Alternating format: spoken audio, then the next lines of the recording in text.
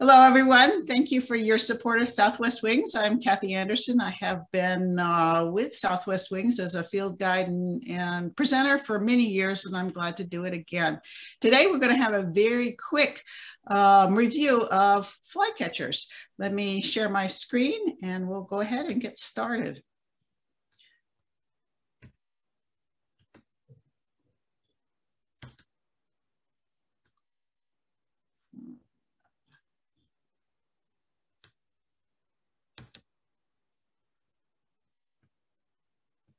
All right, there we are.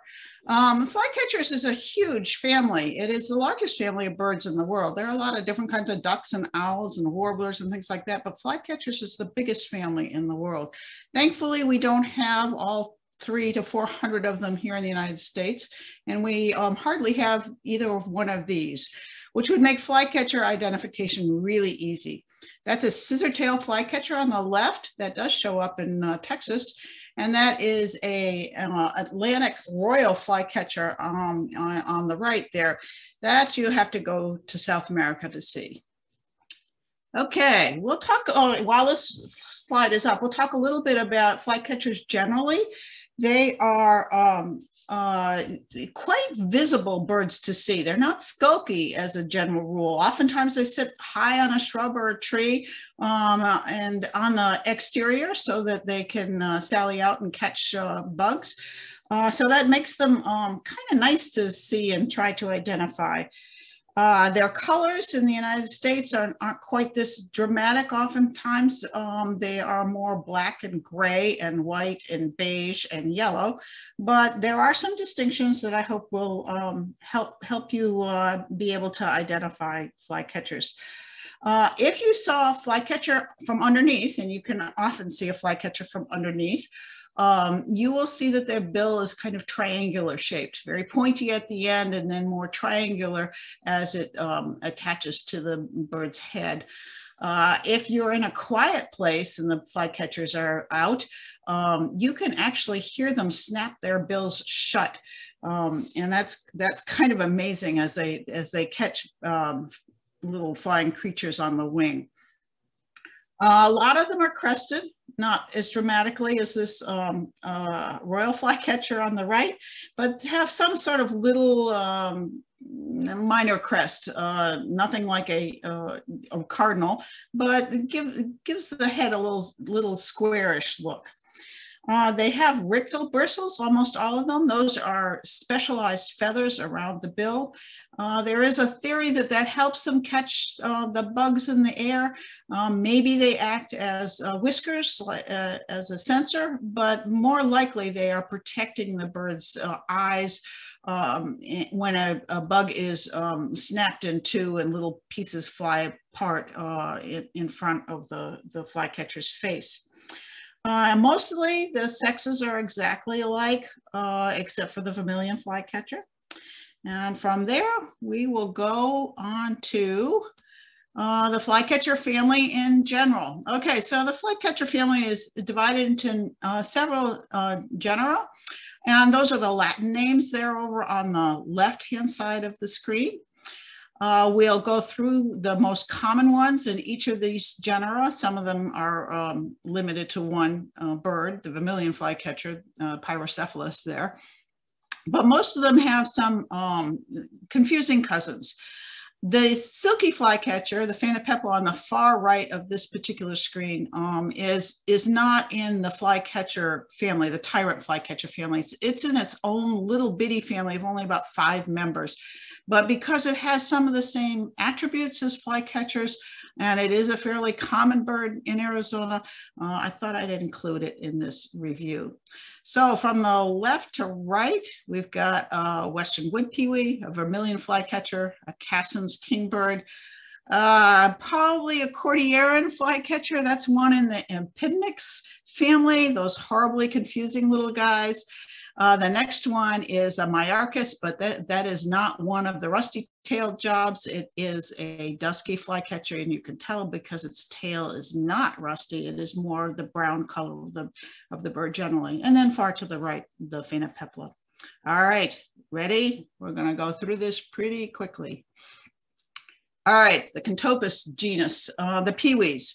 And of the peewees that we're going to talk uh, mostly about is the one in the middle, the uh, western wood peewee. That is an olive-sided flycatcher on the left wouldn't you know that it's not even called a peewee? That's makes it a little bit more difficult to remember. And that is a greater peewee on the right. But the western wood peewee is a very common uh, flycatcher that you can see. And one of its best behavioral uh, attributes is it virtually always comes back to the same perch, at least a couple of times in a row before it moves on. And that, that makes it um, easy to see. Uh, and even if it whisks away, it comes back and you can see it again. It is a, something that helps identify it because a lot of flycatchers don't do that. Um, it's uh, not too big, maybe six, seven inches long, grayish. All the, um, uh, the Contopus flycatchers have a little vested look. That is, it's got, looks like it's wearing a vest with the shirt underneath uh, showing through. And that shows on this um, slide. We don't have time today to listen to all our birds, but uh, I have links in this uh, presentation to uh, All About Birds and or the Audubon website where you can listen to these different sounds. And certainly if you're going to be in a place where the flycatchers are, listening to their sounds is, is going to help you uh, sort them out. All right, we have three easy ones in a row. Uh, the two Phoebes that we have here in Arizona, and then the vermilion flycatcher is pretty easy as well. First one is a black Phoebe. This one will always be near water. Uh, this is a, it needs riparian area. Um, pretty much anywhere you're near water, this guy will be there. Um, it's black and, and white. He looks very formally dressed. Uh, the, the youngsters will have a little bit of a um, uh, buffy wing bar or brownish wing bar, but mostly they're just black and white. And they sally out and grab insects. Um, you, you, can see them in family groups as the nesting uh, cycle uh, completes itself. Um, there'll be three or four together. But this is a pretty easy bird to see and, and a lot of fun to watch just because it is very cooperative. A cousin to that one is the Say's Phoebe. It's a little bit bigger, about seven and a half inches. Um, and uh, shaped and a little bit more crusty look to it than the um, Black Phoebe. It uh, has a grayish brownish back, uh, black tail, and it's it's um, kind of uh, peach colored uh, on its underbelly there. This is a bird that does not need water. This is a bird that often is in the very in dry lands. It never perches very high. It often perches maybe three to five feet off the ground and stays low and sallies out and um, across fields and meadows and um, wetlands and things like that. It can be found in, in wet areas, but it, it is the, the bird of the, the desert, the flycatcher of the desert, uh, pretty much year round. Um, some of them are here, but you can see this guy makes a pretty long journey right up into Alaska, Northern Canada. Um, pretty remarkable. Lots of bugs up there for anybody who's visited Alaska in, in the summer. And the last of the three easy ones, a vermilion flycatcher. There's the male on the left and the female in the middle. Um, this is a bird that's all over not South America and Central America. Um, it's very common. Uh, the male has been studied to indicate that it spends about 90% of itself of its time perched usually pretty high. So uh, red light bulb at the top of a tree is usually a vermilion flycatcher here in the West. The female is a little bit harder to tell. She's beautiful in her own right. She's got some fine streaking on her chest, and again, that kind of peachy underbelly, um, and, uh, and a hint of the same kind of black mask that he has. The babies will be look like the female, except that their under parts, instead of being peachy, will be kind of lemony yellow. Um, and they're they're beautiful in their own right as well basic behavior, uh, same for flycatchers, sally out, grab a bug, come back. But this one, um, again, is, is more uh, uh, evident near, near water. Um, it doesn't, not quite so much to the degree of, of the black um, Phoebe, but this guy will be often near water. But it kind of mixes both um, the water and the in the meadowy or, or field-like habitat that sits low, oftentimes like the Say's Phoebe. Let's look at the Say's Phoebe and the uh, female vermilion flycatcher together. And you can kind of uh, start thinking about how different they look. Uh, look at the, the difference in the size of the bills, uh, the Say's Phoebe has a more elongated look. It is a bigger bird, doesn't have um, any facial pattern that, that stands out pretty well on that, that female vermilion flycatcher. All right, now we're getting into the tricky ones. Okay, this is the Tyrannus genus. Um, that's the kingbird genus. We have uh, at least four kingbirds that you can find in Arizona, but I uh, am highlighting only two of them today.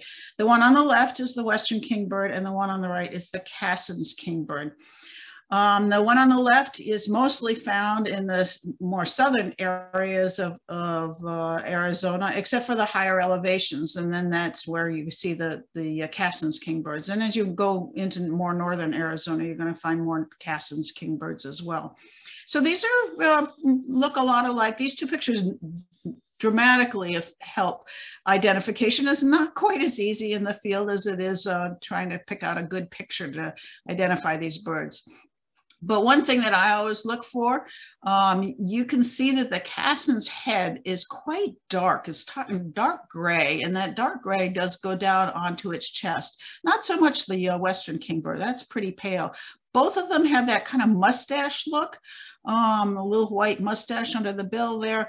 But on the Cassin's kingbird, that really pops out. And on the Western kingbird, it kind of blends in with the lighter chest. The other thing that people look for in the field is um, the white outer tail feathers of the Western kingbird. The Cassin's kingbird, unfortunately, if you look, whoops, there's the Western kingbird up close in its, in its range. But I want to show you on the Cassin's kingbird, which is the um, also on the top left photo, the outer white outer tail feathers can look white if the light is behind them. So don't look just for that. Look for that darker head. You can tell this is a Cassin's kingbird on the right photo just because that white mustache still stands out. Cassin's kingbird also has a white tip to its tail, but the white tip um, can get worn and, and not look very white in flight. So look, look at, at the head um, to try to identify these two. All right, this is the tough genus, um, the Empidonax genus. Um, a lot of people have a stronger word for friggin in the middle. Uh, these are called empids by birders, um, and oftentimes they go on our lists as empid species because they are really difficult. Even, even um, really good birders will argue about which of the empid species we're looking at. Um, they will be comparing eye rings, they'll be comparing bills, um, they'll be comparing the uh, primary projection. That's the very bottom part of the wing. You can see how the primary feathers, those are the ones that are the longest at the end when the, the wing is stretched out. they can look very long and they can look not so long. And it, depending on the bird and how long it, it migrates, those primary projections can be um, past the secondaries, which are kind of the squared off feathers, um, particularly on that middle photo, uh, can, can help. But these, these guys are tough. Uh, so what I think we have here is a gray flycatcher off to the left. That's a pretty easy one only because of its behavior. It is the only bird of the empids that um, dips its tail. If the empid is going to use uh, its tail for expression, it often raises its tail or wags it around a little bit, but the gray flycatcher will dip its tail and it's unique in that way. Uh, the middle bird is either a Pacific slope or a Cordilleran or Cordilleran, depending on how you want to pronounce that, that word. Uh, flycatcher, it's got the um, more teardrop eye ring, if you will. That's a bird that uh, scientists have decided whether to split them or lump them or split them or lump them. They keep going back and forth between the two. Um, I'd rather they lump them and make it much easier for us. Uh, it's good to know if you, uh, by following sort of eBird charts, um, bar, bar graphs, um, when, when these guys are coming through Arizona. The, the Pacific slopes tends to be earlier uh, than the Cordilleran. So that if you're seeing Pacific slope, then um, that's, uh, and early on, then that's probably what you're seeing as opposed to the Cordilleran. Another, another difference that you can look for um, amongst these birds, although I won't go into today, is some of them will um, molt before they migrate and others will molt after they migrate, particularly in the fall. Um, so that if you have a bright bird in the fall, you've got uh, the bird that molts before it migrates. If you have a very dull, washed out um, bird that looks like it's had a very busy breeding season, um, that bird is migrating, is molting after migration. And that helps um, distinguish these as well but they're tough. They, I, I, yeah, they're tough. What can I say? And, and the one on the right, I believe, is a Hammond's flycatcher. But yeah, it's really tough. So look, here's our gray flycatcher. Don't have a video of him wagging his tail downward, but now you know that that if you do see a, a flycatcher wagging its tail downward, most it is a gray flycatcher. Most of the time this is a pretty gray bird. Um, uh, but i have seen it with a yellowish kind of wash on it as well. So it's not you can't go by the color on this one um, but that behavior is is helpful. Uh, this one shows up in a lot of different habitats.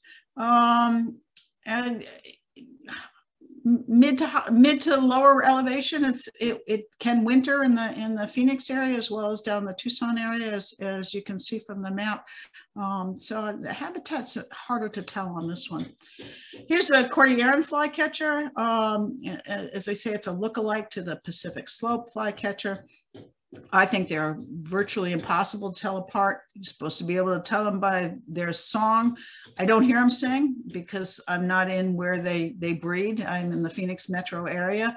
They're a high elevation bird. You can hear them singing up in the, in the higher elevations of Prescott, Payson, uh, and Flagstaff. So um, listen to those those uh, recordings before you go out, depending on where you're you're headed. The Cordilleran is is is one that you'll find here in Arizona. The Pacific Slope passes through and is more of a coastal bird. Okay, and there's Hammond's. Okay, um, you can see the primary projection from the underneath on this, this particular photo, something to look at, but I think it's really, really tough to figure out. Um, this is kind of a little guy. Um, they're all kind of little. They're between five and six inches, most of them. Uh, look at the bill color for this one. This looks to me like it has a teardrop eye ring, but not quite so dramatic as, as uh, Cordilleran Pacific Slope. So that helps a little bit.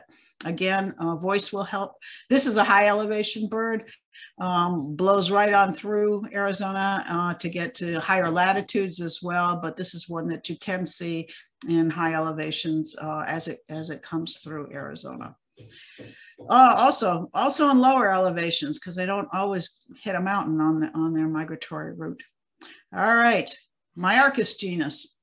This is a, um, a mid-sized flycatcher. These guys are a little bit bigger, uh, seven and a half, eight and a half inches. And these are the two common ones in Arizona. On the left there is the um, ash-throated flycatcher, and on the right is the um, brown-crested flycatcher. I think, yeah, ash-throated flycatcher. Uh, it, look at the size of the bill. Uh, that that will help. And mostly ash throated is a good name for this guy. He's pretty whitish and uh, oftentimes has a little bit more yellow than this photo shows. But um, otherwise, uh, he he is um, a bird of the desert. Um, and when you have this this bird and this one, the brown crested flycatcher, look at the bill on that one. You can and it by and large a lot more yellow. These birds do overlap in habitat, but because the uh, ash-throated flycatcher is smaller and sl more slender than the brown-crested flycatcher, it tends to be um, more comfortable in the more desert type of habitat, whereas the brown-crested almost needs a riparian habitat. And that's because the vegetation in the riparian habitat is, um, is larger. both of these are cavity nesters. Uh, so the ash-throated flycatcher can uh, find cavities in the desert and the smaller trees uh, that will be perfectly suitable, but the brown-crested flycatcher uh, needs the bigger cavities that might be in a cottonwood or a sycamore. Um, and this is a this kind of a specialty Arizona bird. It's it's uh, it's it doesn't seem to be as well studied as as the ash throated because the ash throated uh, range is is so much broader. But it's it's a cool bird. Uh, listen to the voices. I think they're pretty similar, but maybe you can you can puzzle them out yourself. Um, and last but not least, uh, from the silky flycatcher family, I'm not even going to try to work off out that particular family name, um, is our Phainopepla. Uh, Phainopepla is an interesting bird in that it has two um, uh, places where it nests. It nests first in the desert and then goes to mid elevations to nest again.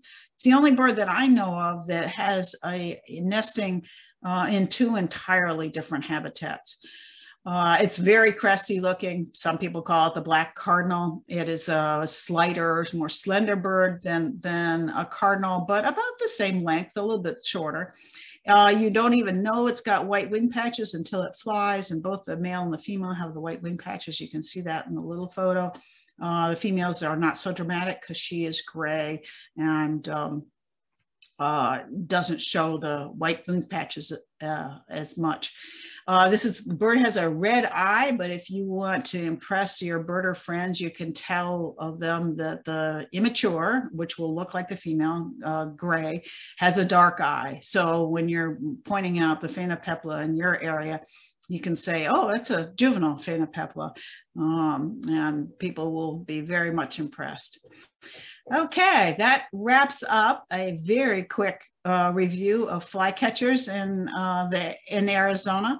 Uh, thanks again for supporting uh, Southwest Wings, and I hope I'll see you in the field someday. Goodbye.